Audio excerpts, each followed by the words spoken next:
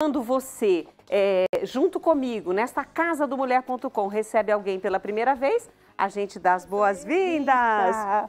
Prazer. Prazer te conhecer, prazer de estar aqui nesse programa. Uma boa tarde a todos que estão aqui, uma boa tarde a todos que estão em casa. Olha aí! Olha, gostei demais. E hoje tem aqui uma. Um, eu sou suspeita, né? Gosto mais de frango. E, e, você trouxe uma receita diferente, eu Isso. gostei dessa. Hoje a gente vai fazer, Rita, um filé de coxa e sobrecoxa assado ao molho mostarda com laranja, tá? É uma receita prática, fácil de fazer. Então vamos lá? Nós vamos fazer o seguinte, o que, que você vai fazer agora? Vai temperar primeiro? Aqui a coxa e a sobrecoxa já está desossada, já está higienizada, bem lavadinha, limpinha. Agora vamos temperar. Tá, o que você vai colocar aqui de tempero? Só para a gente poder fazer isso na hora Vamos do intervalo. Pôr três colheres de mostarda, uma colher de chimichurri natural, uma colher de coloral, uma colher de alho triturado e sal a gosto. Então é com estes temperos que nós vamos para o intervalo e pode começar a colocar, porque aí a gente já vai aprendendo aqui. A gente volta já.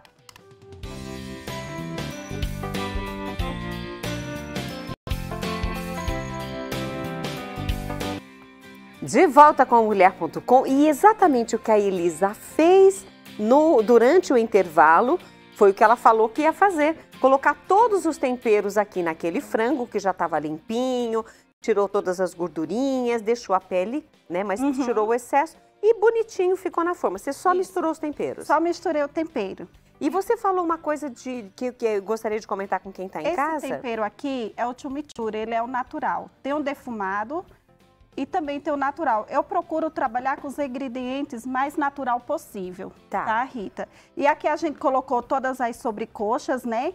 Colocamos toda a pele dele voltado para cima, porque agora a gente vai levar ao forno por 30 minutos a 200 graus, até que ele fique douradinho, tá. com a pele bem crocante e a carne por dentro macia. Não precisa colocar papel Não, alumínio? pode levar diretamente ao forno.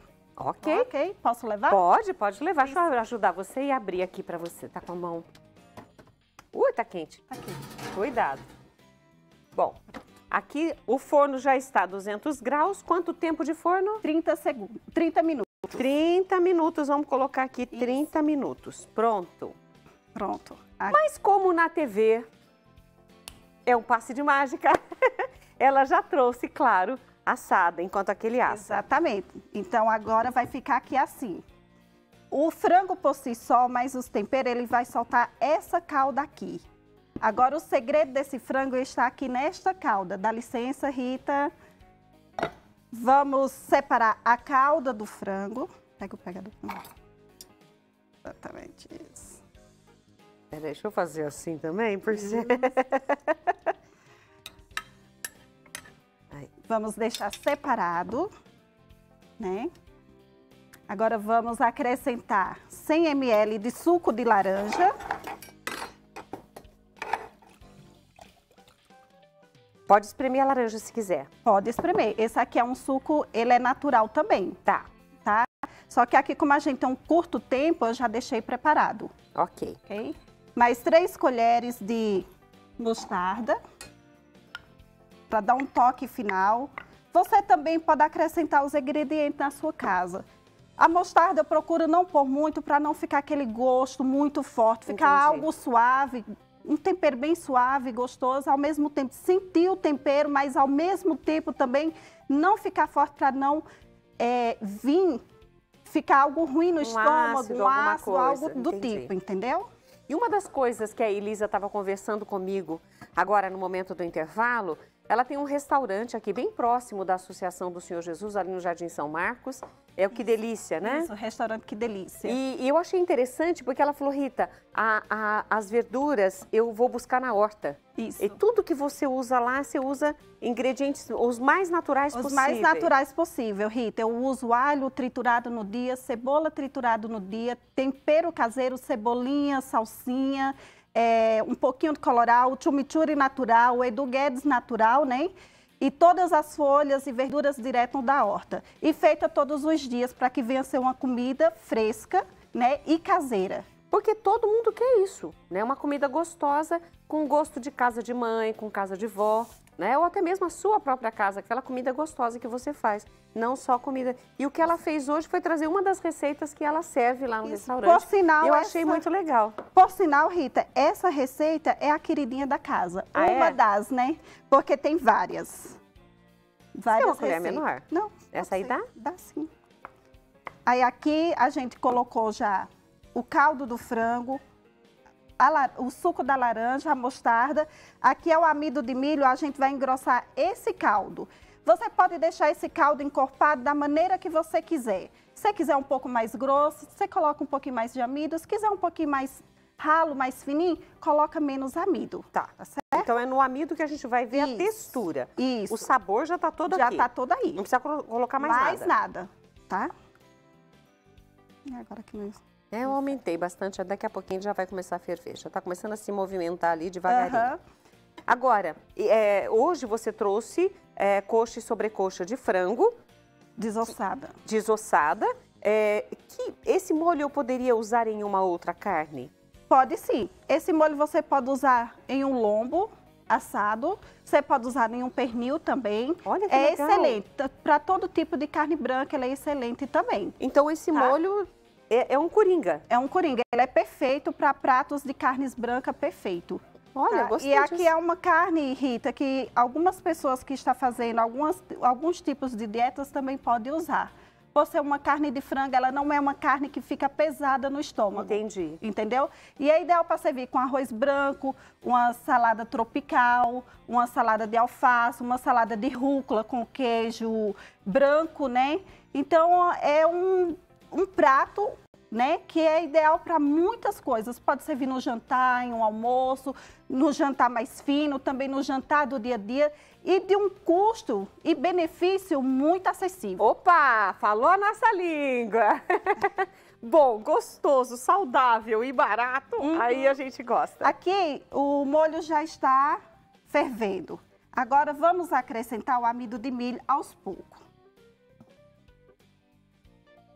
Para você sentir a textura aos poucos. Uhum.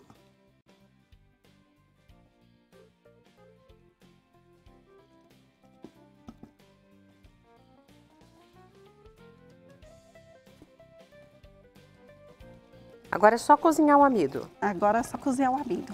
É muito prático, uma receita prática, rápida. Pode desligar, Rita. Pode desligar? Pode desligar. Tá desligado. A textura, Olha, a cor. ele perfeita. ficou grosso, porém, é, quer dizer, ficou encorpado e não grosso. Exatamente. Ficou bom. e de uma textura maravilhosa. Agora vamos pegar aqui, vamos pôr sobre essa coxa. Deixa eu tirar aqui para você, senão Por pode. favor, Rita, você está sendo minha auxiliar hoje. Ai, que delícia, adoro quando me deixam ajudar.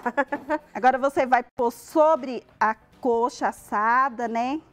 Por isso que a pele tem que estar bem moreninha, crocante, para quando você for comer sentir esse, esse, essa crocância, o macio da carne por dentro.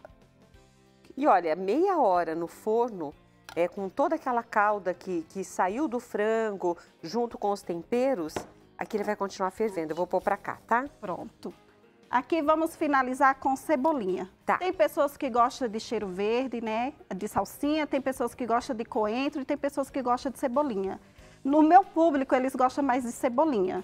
Então, vou finalizar com cebolinha. Mas você que está em casa, que está, vai fazer essa receita, pode finalizar com o que você desejar.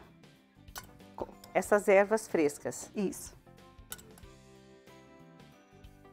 Eu acho, eu gosto muito de alecrim. Adoro Pode pôr jogar também, tá? Um alecrim. Pode colocar também? Pode pôr, Oba! pode usar e abusar, ficar à vontade. Aqui está o prato pronto. Olha que delícia! E é claro que apesar dela ter montado um prato tão maravilhoso, com arroz, com saladinha, é tão bonitinho. Olha Aqui gente, tem em até tomatinho do lado de cá. Olha aqui que delícia. Mas aqui, ó, para você ver o frango, eu vou pedir a ela que coloque um pedacinho aqui para mim, para eu experimentar.